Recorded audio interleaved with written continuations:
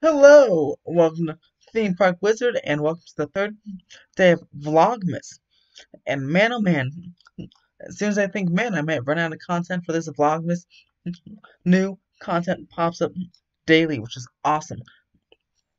And yesterday, or today, no, yesterday, sorry, um, the gates were opened to California Adventure's new little festival areas of flex space. Mm-hmm. so as you can see, over the weekend, where when Buena Vista Street first opened, mm, people were freaking out over this gate. They thought it was another entrance to Avengers Campus. They thought, what is going to be behind these gates?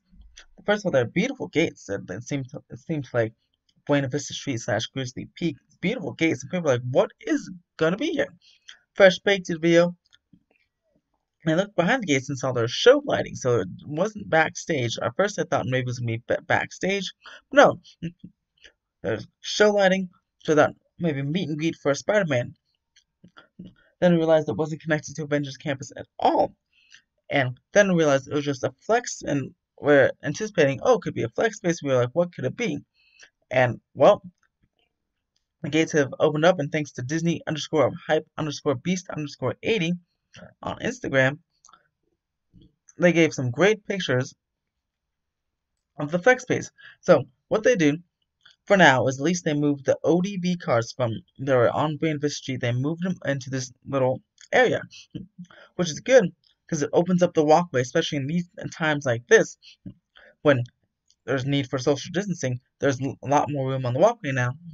Now, now that these ODB cars on one central location, and you can line up outside the gates to get to your O2B card. So that is what the flex space is.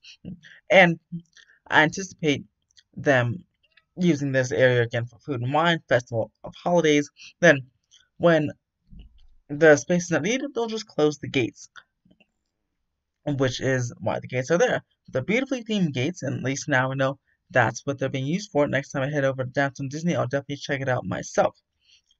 Now, the reason why you off the pages in this article because it was announced later that by WDWN Today and some other sources that off the page will be reopening today.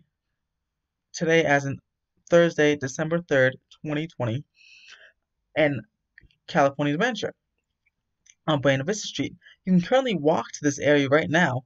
At the, there's just it's just before the rope where it blocks off the uh, where you can go.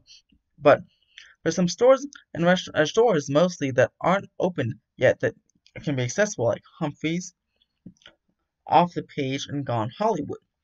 Um, it's rumored there that was due to maybe cast member issues. They're trying to call some people back and they couldn't call anybody back. But I said they've called people back.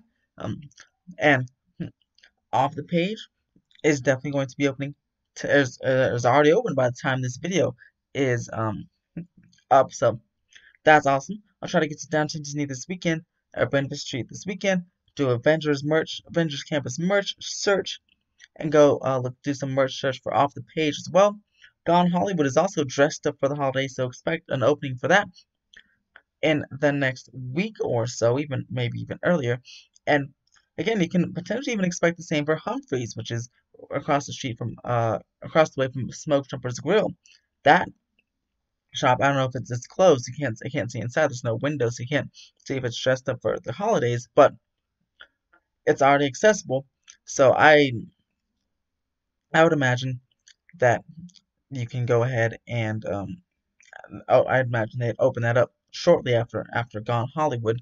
One gives cast members some jobs because unfortunately another 1,400 or so were laid off from the Disneyland Resort, which is unfortunate but it gives cast members some jobs, and it also expands the capacity. Each thing you open up, and even if you extend the rope a little bit, a, a walk a walkway usage, that it opens up um, capacity, so you can put more and more people into down into Buena Vista Street um, in the California Adventure, which is awesome. Also, lastly, December 6th, which is Sunday, the Grand Californian or the DVC at the Grand Californian opens up and I expect them to extend. Yeah, they did a test um a week or so ago where hmm, they extended the ropes just for one night uh, for one day extended the ropes um, where you can walk to instead of just by the plane by Soarin'. They made they made it all the way to like the Grizzly River Run uh, slash Grand Cali Hotel entrance, and I expect them to do that again when um because the DVC opens up on the sixth, which is Sunday. So I expect the DVC members to get that again that California Adventure Hotel Buena Street access potentially, um, and enter through that side. And so maybe hopefully they'll extend the um the rope over again so you can have more and again that also increases the capacity for more and more people to enter California Adventure. So super exciting stuff. Nice to see the initial opening of uh, Buena Vista, Buena Vista Street went very well, and I see that they are going to go ahead and um, expand the capacity here and there by opening up shops shops that are easily accessible um, right now, but just I guess didn't have the support for cast members yet. So that's awesome. Will you be going to off the page Gone Hollywood or maybe even Humphreys if that reopens? Let me know in the comments below. And there's rumors that maybe it'll extend to Carsland Pacific Wharf area. Carsland would be awesome because I absolutely lo love to see Carsland at night. Pacific Wharf probably makes more sense because that's all shops and dining right there. So it would obviously make most sense to increase it to make it go over there. But Carsland is just too beautiful. So I hope they'd open that up as well. But we'll see. That stuff, by the way, those expansions most likely will happen next year in January. Um, especially as we get that vaccine rolling out.